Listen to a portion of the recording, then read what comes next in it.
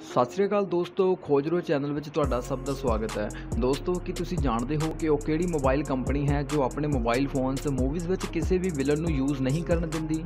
ਕੀ ਤੁਸੀਂ ਜਾਣਦੇ ਹੋ ਬੁਰਜ ਖਲੀਫਾ ਬਿਲਡਿੰਗ ਤੇ ਐਡ ਦੇਣ ਲਈ ਕਿੰਨੇ ਪੈਸੇ ਦੇਣੇ ਪੈਂਦੇ ਹਨ ਤੇ ਇਹ ਐਡ ਕਿੰਨੇ ਟਾਈਮ ਤੱਕ ਚੱਲਦੀ ਹੈ?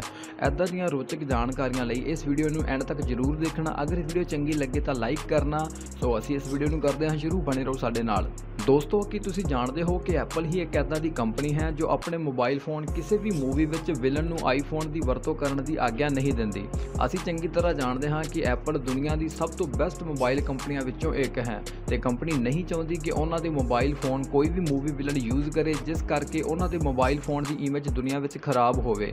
ਐਪਲ ਕੰਪਨੀ ਆਪਣੇ ਮੋਬਾਈਲ ਫੋਨ ਦੀ ਸਾਫ਼ ਸੁਥਰੀ ਇਮੇਜ ਹੀ ਦੁਨੀਆ ਤੱਕ ਰੱਖਣਾ ਚਾਹੁੰਦੀ ਹੈ। ਦੋਸਤੋ, ਵੈਸੇ ਤਾਂ ਤੁਸੀਂ ਦੁਨੀਆ ਦੀਆਂ ਬਹੁਤ ਮਹਿੰਗੀਆਂ-ਮਹਿੰਗੀਆਂ ਚੀਜ਼ਾਂ ਦੇਖੀਆਂ ਹੋਣਗੀਆਂ, ਪਰ ਕੀ ਤੁਸੀਂ ਕਦੇ ਦੁਨੀਆ ਦੀ ਸਭ ਤੋਂ ਮਹਿੰਗੀ ਜੀਨ ਦੇਖੀ ਹੈ? ਅਗਰ ਨਹੀਂ, ਤਾਂ ਦੱਸ ਦਈਏ ਇਸ ਜੀਨ ਦਾ ਨਾਮ ਹੈ ਸਕੇਡਾ ਸਕੋਚ ਸਵਾਰੋਸਕੀ ਕ੍ਰਿਸਟਲ ਜੀਨ ਹੈਰਾਨੀ ਦੀ ਗੱਲ ਤਾਂ ਇਹ ਹੈ ਕਿ ਇਸ ਦੀ ਬੈਕ ਪੋਕਟ ਮਤਲਬ ਪਿਛਲੀ ਜੇਬ ਤੇ ਬਹੁਤ ਹੀ ਵਧੀਆ ਕਿਸਮ ਦੇ ਹੀਰੇ ਲੱਗੇ ਹੋਏ ਹਨ। ਅਗਰ ਗੱਲ ਕਰੀਏ ਇਸ ਦੀ ਕੀਮਤ ਦੀ ਤਾਂ ਇਸ ਦੀ ਕੀਮਤ ਹੈ 1.3 ਮਿਲੀਅਨ ਡਾਲਰ ਮਿਲਦੇ ਹਾਂ ਅਮਰੀਕਨ ਸਾਇੰਟਿਸਟ ਲੈਰੀ ਟੈਸਲਰ ਨਾਲ। ਲੈਰੀ ਟੈਸਲਰ ਉਹ ਇਨਸਾਨ ਹਨ ਜਿਨ੍ਹਾਂ ਨੇ ਸਾਡੀ ਜ਼ਿੰਦਗੀ ਦਾ ਬਹੁਤ ਸਾਰਾ ਕੀਮਤੀ ਸਮਾਂ ਬਚਾਇਆ ਹੈ। ਅਸੀਂ ਸਭ ਕੰਪਿਊਟਰ ਤੇ ਇੱਕ ਕਮਾਂਡ ਯੂਜ਼ ਕਰਦੇ ਹਾਂ ਕਾਪੀ ਪੇਸਟ ਇਸ ਕਮਾਂਡ ਦਾ ਅਵਿਸ਼ਕਾਰ ਕਰਨ ਵਾਲੇ ਲੈਰੀ ਟੈਸਲਰ ਹੀ ਹਨ। ਸੋਚੋ ਅਗਰ ਇਸ ਕਮਾਂਡ ਦਾ ਅਵਿਸ਼ਕਾਰ ਨਾ ਹੋਇਆ ਹੁੰਦਾ ਤਾਂ ਸਾਡੀ ਕੰਪਿਊਟਰ ਲਾਈਫ ਅੱਜ ਕਿੱਦਾਂ ਦੀ ਹੋਣੀ ਸੀ? ਦੋਸਤੋ, ਅਗਰ ਤੁਹਾਨੂੰ ਪੁੱਛਿਆ ਜਾਏ ਇਸ ਫੋਟੋ ਵਿੱਚ ਵੱਡੀ ਉਮਰ ਵਾਲੀ ਲੜਕੀ ਕਿਹੜੀ ਹੈ, ਤਾਂ ਜ਼ਾਹਿਰ ਜੀ ਗੱਲ ਹੈ, ਤੁਹਾਡਾ ਜਵਾਬ ਹੋਏਗਾ ਜਿਸ ਨੇ ਬੱਚੇ ਨੂੰ ਹੱਥ ਵਿੱਚ ਚੁੱਕ ਰੱਖਿਆ ਹੈ। ਪਰ ਅਸਲ ਵਿੱਚ ਇਹ ਸੱਚ ਨਹੀਂ ਹੈ। ਬੱਚੇ ਦੀ ਤਰ੍ਹਾਂ ਦਿਖਾਈ ਦੇ ਰਹੇ ਇਸ ਸ਼ਖਸ ਦਾ ਨਾਮ ਹੈ ਬ੍ਰੋਕ ਗ੍ਰੀਨਬਰਗ। ਇਹ ਦੁਨੀਆ ਦੇ ਇਕਲੌਤੇ ਇਨਸਾਨ ਹਨ ਜੋ ਸਿੰਡਰੋਮ ਐਕਸ ਨਾਮ ਦੀ ਬਿਮਾਰੀ ਨਾਲ ਜੂਝ ਰਹੇ ਹਨ। ਇਸ ਬਿਮਾਰੀ ਵਿੱਚ ਇਨਸਾਨ ਦੀ ਉਮਰ ਵਧਣੀ ਬੰਦ ਹੋ ਜਾਂਦੀ ਹੈ। ਬਸ ਇਹੀ ਕਾਰਨ ਹੈ ਗ੍ਰੀਨਬਰਗ ਛੋਟੇ ਬੱਚੇ ਦੀ ਤਰ੍ਹਾਂ ਦਿਖਾਈ ਦਿੰਦੇ ਹਨ, ਪਰ ਇਹਨਾਂ ਦੀ ਉਮਰ 20 ਸਾਲ ਦੀ ਹੈ। ਦੋਸਤੋ ਸਮਾਰਟਫੋਨ ਤੇ ਅਸੀਂ ਸਾਰੇ ਹੀ ਯੂਜ਼ ਕਰਦੇ ਹਾਂ, ਪਰ ਕੀ ਤੁਹਾਨੂੰ ਪਤਾ ਹੈ ਕਿ ਇੱਕ ਸਮਾਰਟਫੋਨ ਨੂੰ ਚਾਰਜ ਕਰਨ ਦਾ 1 ਸਾਲ ਦਾ ਕਿੰਨਾ ਖਰਚ ਆਉਂਦਾ ਹੈ?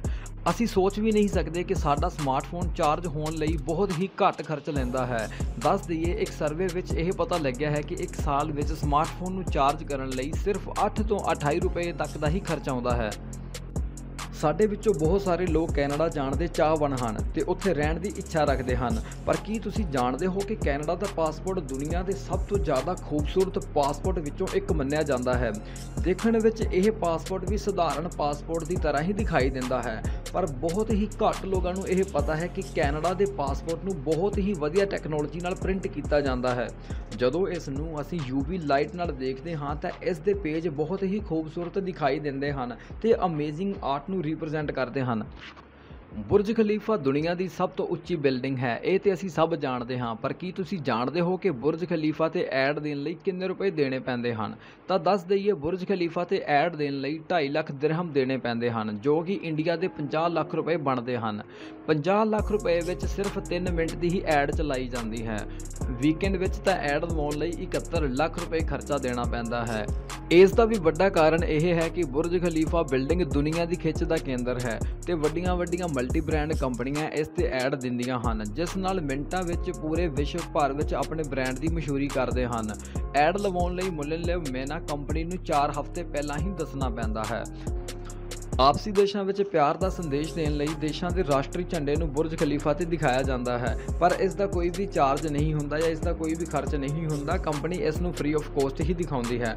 ਸੋ ਇਹ ਸਨ ਦੁਨੀਆ ਦੀਆਂ ਕੁਝ ਰੋਚਕ ਗੱਲਾਂ। ਅਗਰ ਤੁਹਾਨੂੰ ਇਹ ਵੀਡੀਓ ਚੰਗੀ ਲੱਗਦੀ ਹੈ ਜਾਂ ਰੁਚੀ ਰੱਖਦੇ ਹੋ ਐਦਾਂ ਦੇ ਹੀ ਰੋਚਕ ਤੱਥ ਜਾਣਨ ਵਿੱਚ ਤਾਂ ਜਲਦੀ ਤੋਂ ਜਲਦੀ ਸਾਡੇ ਚੈਨਲ ਨੂੰ ਸਬਸਕ੍ਰਾਈਬ ਕਰ ਸਕਦੇ ਹੋ ਬੈਲ ਆਈਕਨ ਤੇ ਕਲਿੱਕ ਕਰਕੇ ਘੰਟੀ ਨੂੰ ਔਨ ਕਰ ਸਕਦੇ ਹੋ ਤਾਂ ਜੋ ਆਉਣ ਵਾਲੀਆਂ ਵੀਡੀਓਜ਼ ਤੁਹਾਡੇ ਸਾਹਮਣੇ ਪਹਿਲਾਂ ਰੱਖ ਸਕੀਏ। ਧੰਨਵਾਦ।